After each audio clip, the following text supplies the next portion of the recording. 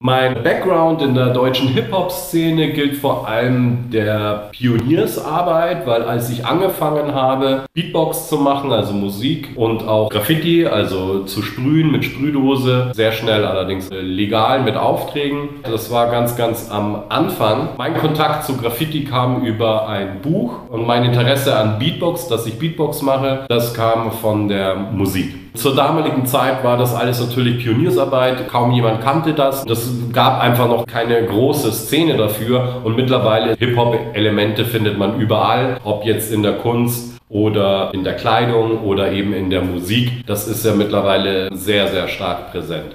Interessant finde ich auch, dass die meisten Künstler, die ich kenne, die erfolgreich jetzt in Richtung Urban oder Street Art sind, alle mit Graffiti eigentlich angefangen haben.